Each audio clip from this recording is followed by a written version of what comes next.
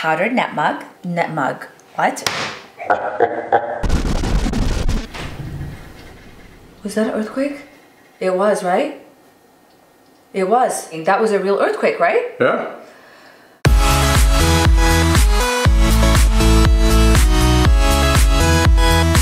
Everybody, welcome to my kitchen. It's Mirella with my co-host today, Lisa.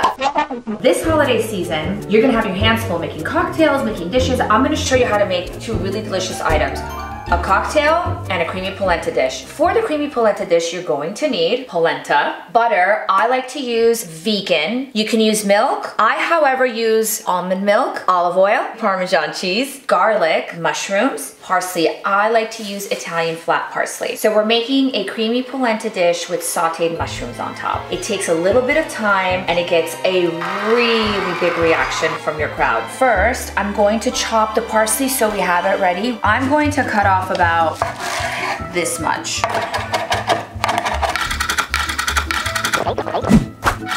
So you have your parsley all chopped. The parsley is used for the mushrooms.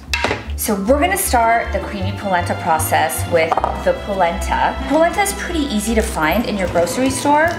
And if you're wondering what polenta is made out of, polenta is a cornmeal. I like to put in one, two, three tablespoons of olive oil and I like to massage my polenta. Relax, polenta. Close your eyes and go to happy polenta land.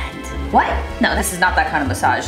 Naughty polenta. I'm going to add some salt. And by the way, how much salt is really up to you. I don't like it when recipes say a quarter tablespoon or half a tablespoon because it's really to your taste. Pink Himalayan salt. We are going to put the polenta aside. Bring the pot over. We're gonna get on to something else. So you're going to need two cups of milk. We're also gonna need one and a half cups of water, two tablespoons of butter.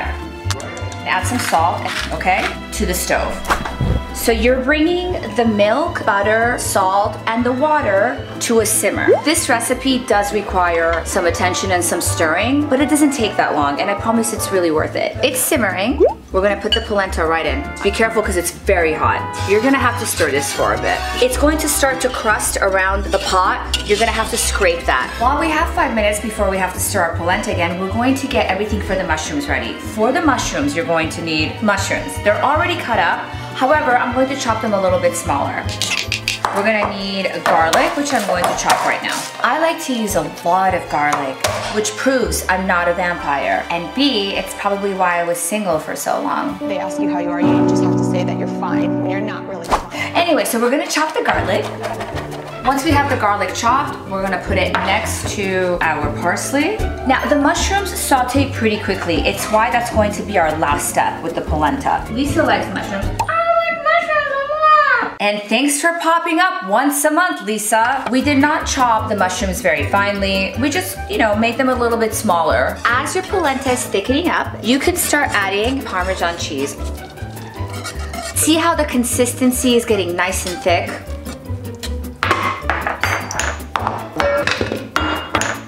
So while we're waiting for our creamy polenta, I'm going to be making a cocktail with homemade eggnog. I'm going to make it vegan, but you don't have to. So for the cocktail, you're going to need powdered nutmeg. Nutmeg. What? This is good champagne. For your eggnog cocktail, you're going to need ground nutmeg, maple syrup, raw cashews, which should be soaked nutmeg overnight, but if you don't have overnight, that's okay, just soak them for an hour. Ground cinnamon, coconut milk, cinnamon sticks, star nutmeg. Okay, I also, oh my god, star anise. But the most important ingredient is the whiskey. So here's what we're going to do. I'm actually using a NutriBullet. We're going to put all the ingredients in this. Some cashews, the coconut milk in, quarter cup of water, nutmeg, nutmeg, cinnamon, maple syrup. One, two, three. Blend all of this together.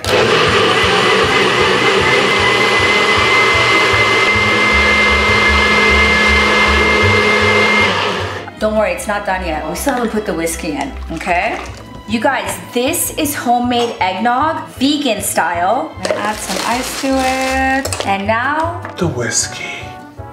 One, two, three, because you're at least serving three people or the three voices in your head. However, I'm going to add one more.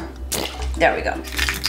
If you're not perfect at putting it into the glass, here's what I recommend. Put the funnel in, there you have it.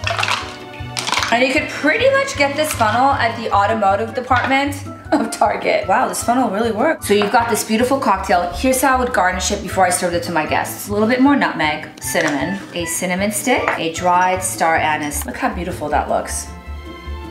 Now that is a holiday cocktail. Oh my God, it's like drinking. Was that an earthquake? It was, right? It was. Well, we're in Los Angeles, so Better get drinking. that was a real earthquake, right? Yeah. I can't believe we had a real earthquake. Anyway, the cocktail's really good. So our polenta is almost done. We are going to start sauteing our mushrooms. Olive oil. While this oil is heating up, throw in the garlic.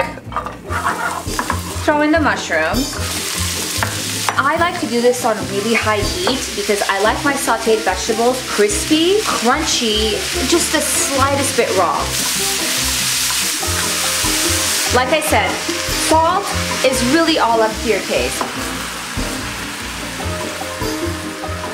These are ready. And these only took what, a couple minutes? You're now going to sprinkle the Italian flat parsley on top.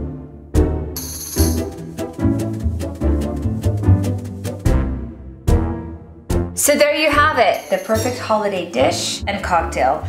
They look beautiful, they taste amazing, and everybody will love them. I hope you have a wonderful holiday season with your family and friends, and remember the less fortunate this holiday season. If you liked the video, please subscribe. If you have your own recipes, please comment. I would love to see them, and I would love to actually use them in my own kitchen. Remember, you don't have to be a professional chef to have a good time, make good food, and make people happy. Happy holidays.